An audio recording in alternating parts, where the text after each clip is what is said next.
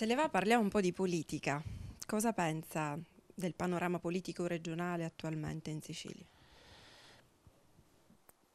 Cin quasi quattro anni fa, subito dopo le elezioni regionali, venne ad intervistarmi una sua collega, che ha avuto anche fortuna perché è diventata parlamentare europeo, mi chiese cosa pensasse di Crocetta che era appena stato eletto.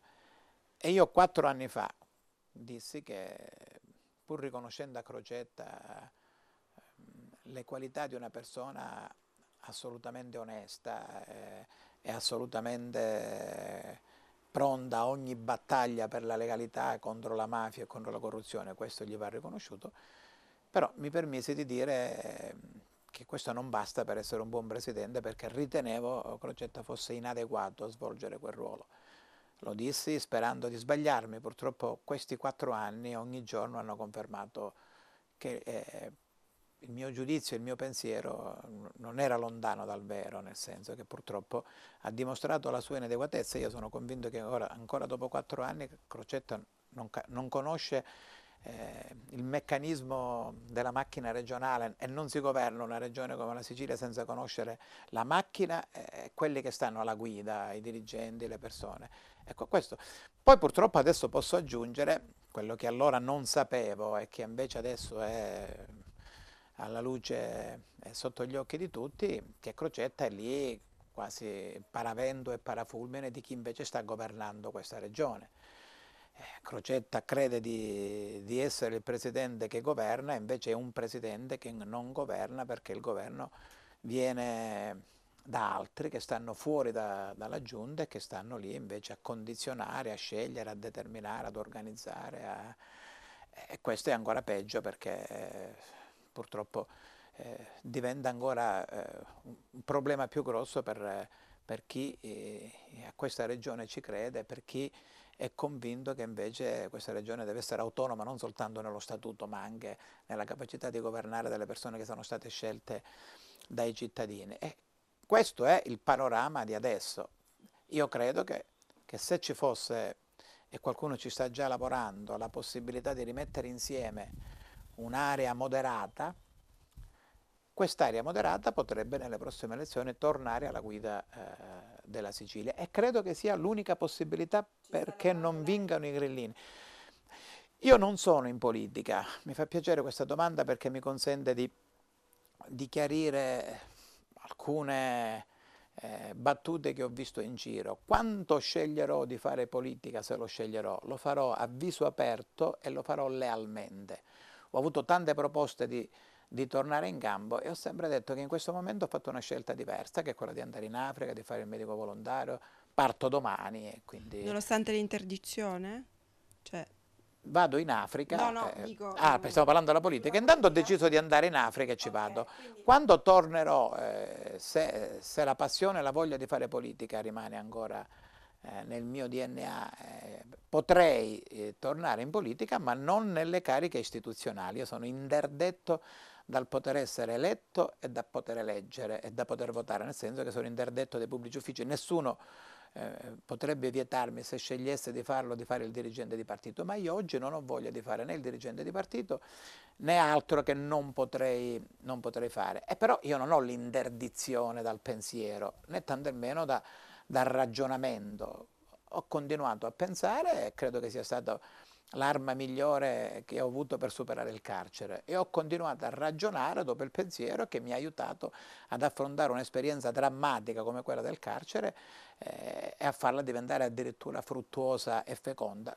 Lo sto continuando a fare adesso, penso, ragiono quando qualcuno mi chiede come sta facendo lei in questo momento cosa penso della politica, dico onestamente quello che penso sapendo che a qualcuno questo non piacerà, però sa, a me il carcere ha insegnato tante cose adesso potremo anche parlarne, se c'è una cosa che, ho, che, mi ha insegnato e, che continuo eh, in qualche modo ad utilizzarla come insegnamento è quello di non essere ipocrita e di non mentire mai più. Io da politico ho mentito tanto perché la politica presupponeva anche dire tante bugie e so di essere stato a volte e tante volte anche ipocrita, nel senso che sono stato accanto a chi non avrei voluto esserci, eh, ho fatto delle cose che non mi sarebbe piaciuto fare. Adesso, nelle mie condizioni eh, nelle mie nuove condizioni di ex detenuto libero, non, non, ho più bisogno e non voglio più essere né bugiardo né ipocrita. Quello si che penso lo dico, anche se a qualcuno non farà piacere. Si ricorda una volta che ha mentito e che magari poi si è pentito di questa cosa? Beh sì, tante volte, insomma, in politica spesso eh, si dicono tante cose perché c'è l'interesse elettorale, l'interesse nel fare le liste, l'interesse nel, nel, raggiungere gli obiettivi. È, un gioco che purtroppo uh, viene praticato soprattutto durante le campagne elettorali. Io adesso so di averlo fatto e forse anche meglio degli altri per aver avuto tanto, tanto successo, però se tornassi indietro certo questo non lo rifarei, ma non lo faccio adesso, nel senso quello che penso lo dico e il mio ragionamento lo esplicito. Dice qualcuno dice ma è, è il caso che non lo dicessi? Beh no, non, non, non per me.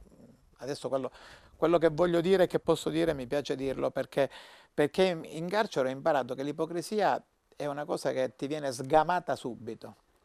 Se tu in carcere sei ipocrita, dopo tre giorni i detenuti ti hanno sgamato, nel senso che da quel momento non sei più eh, nei loro interessi e soprattutto non sei più rispettato. Ecco, io ho cercato di, di evitare l'ipocrisia, sono riuscito a farlo in carcere con persone che hanno una sensibilità e un'acutezza straordinaria e voglio continuare a farlo nella vita libera. Quindi dico quello che penso. A qualcuno non piace, pazienza. Sempre parlando di politica, poi magari tra poco ci spostiamo ecco, sulla sua esperienza insomma, in carcere. Lei immagino già vede un candidato all'orizzonte per la regione Sicilia? Beh, guardi, qui dico una cosa che a qualcuno non piacerà, però io la penso e la dico. Può darsi che mi sbaglio, non è che le cose che dico sono giuste, sono quelle che penso. Io penso che l'ultima elezione ci sono stati quattro candidati a cui i siciliani avrebbero dovuto affidare le loro aspettative, la loro fiducia e sono Gianfranco Miccichè, Nello Musumeci, il grillino eh, Cancellieri e, e Crocetta. Bene, il 51% dei siciliani non si è riconosciuto in questi candidati perché ha scelto di non andare a votare e se qualcuno pensa che questo 51% non ha votato perché ha protestato, dà una lettura superficiale di quelle elezioni. Quel 51% non ha votato perché è rimasto indifferente a quei candidati, non si è riconosciuto in quei candidati, ci ha pensato che quei candidati non potessero rappresentare le, le, le, proprie, propri sta, le proprie, stanze ideali, le proprie stanze eh, affettive, non si sono fatti emozionare, dico io, di quei candidati. Ecco, io penso, e ha vinto Crocetta, che è quello che ha che ha preso 450.000 voti, in fondo un quinto dei voti che abbiamo preso prima io a Lombardo, quindi ecco, questo è successo. Allora, io dico, i dati elettorali vanno eletti, se l'area moderata vuole tornare a vincere, e in Sicilia la gente è moderata, lo è stata per tanti anni, è necessario che selezioni un candidato che cominci a dare al quel 51% che non aveva candidati l'altra volta la possibilità adesso di averlo. E quindi è chiaro che deve essere un candidato nuovo, non può essere di quei quattro, perché se quel 51% avesse voluto votare uno di quei quattro l'avrebbe già fatto l'altra volta. Non l'ha fatto perché non si è riconosciuto. Adesso c'è un candidato nuovo che sia un candidato spendibile, credibile, pulito, onesto, eh, moderato, una persona per bene, che, che, sia, che sappia parlare con i partiti e con la società civile e a cui affidare la possibilità di rimettere insieme l'area moderata eh, siciliana. Io credo, credo che questo sia il candidato che possa vincere. Se così non succede, vincerà la protesta.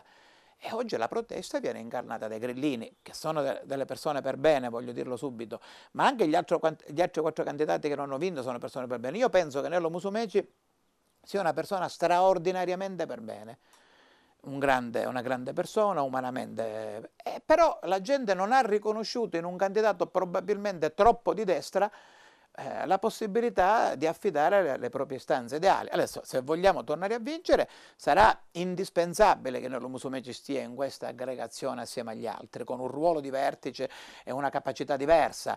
E però è necessario che quello che dovremo scegliere per dare ai siciliani la possibilità di riconoscersi deve essere una persona diversa, che io in questo momento non ho, ma che va cercata tutti insieme. Quindi no, non, non la immagina? Beh, io la immagino, però me la tengo per me. Quindi non ce la dice, in esclusiva magari. Ma, no. se, se, se, viene detta una cosa di questo in una televisione non è più diventerà di opinione pubblica e farei del torto a questa persona che invece io credo, se con ragionamento di tutti e con la scelta di tutti, se ci potesse arrivare, sarebbe una cosa buona.